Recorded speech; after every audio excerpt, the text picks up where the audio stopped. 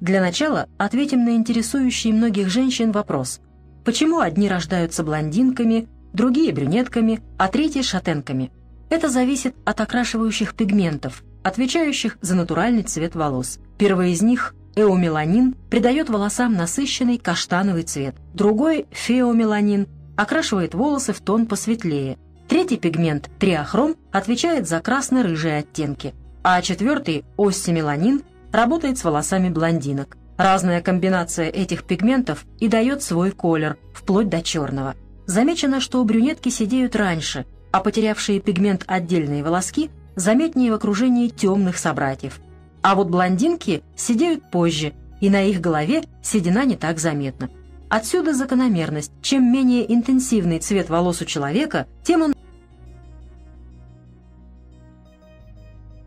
Советы для женщин, не желающих сидеть. Посидение – процесс постепенный. Сначала белеют виски, потом макушка, затем вся голова.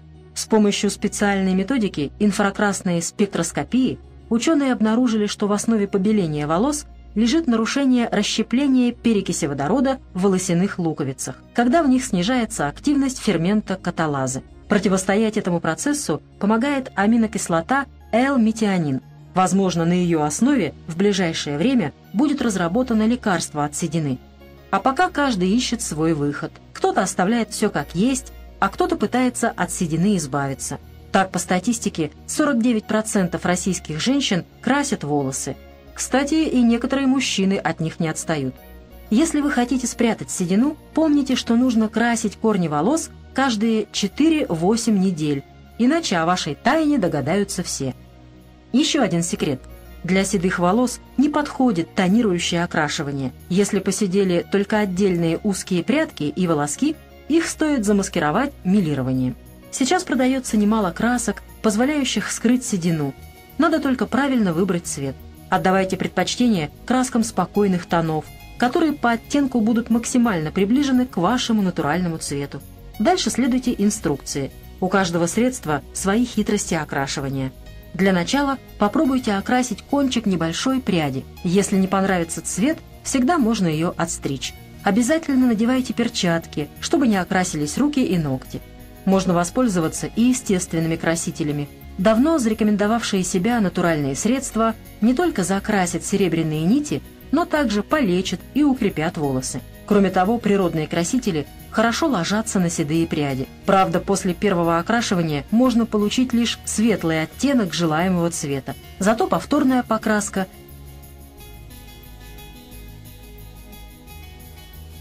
Если вы посидели, но хотите опять стать шатенкой – Смешайте одну столовую ложку крепкой чайной заварки, одну чайную ложку коньяка и яичный желток.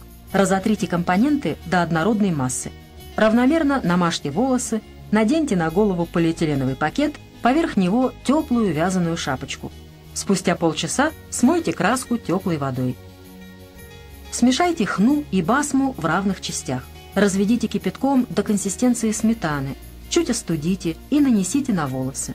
Через полчаса смойте теплой водой. Если вы хотите, чтобы цвет был не столь насыщенным, а просто золотистым, держите на волосах только кашицу из хны, но не более 10 минут. А если нужен насыщенный оттенок красного дерева, смешайте в равных пропорциях хну и порошок какао. Разведите хну не кипятком, а горячим чаем и покрасьте волосы. Цвет будет светло-каштановым. Крепкий черный чай соедините с растворимым кофе или порошком какао в равных количествах. Перемешайте и втирайте в волосы, распределяя по всей длине. Через 40 минут смойте. Вы получите тон красного дерева. Если вы хотите опять стать брюнеткой, смешайте одну часть хны и две части басмы. Разведите кипятком до состояния густой сметаны. Разотрите, чтобы не было комков нанесите на волосы, через час смойте. Если хотите стать снова блондинкой, залейте 25 грамм луковой шелухи стаканом воды и кипятите 20 минут. Этим отваром промывайте волосы всякий раз после мытья. Залейте 100 грамм сухой лекарственной ромашки стаканом кипятка. Чем ромашки больше, тем насыщеннее получится цвет. Настаивайте 40 минут, процедите настой и промойте им голову.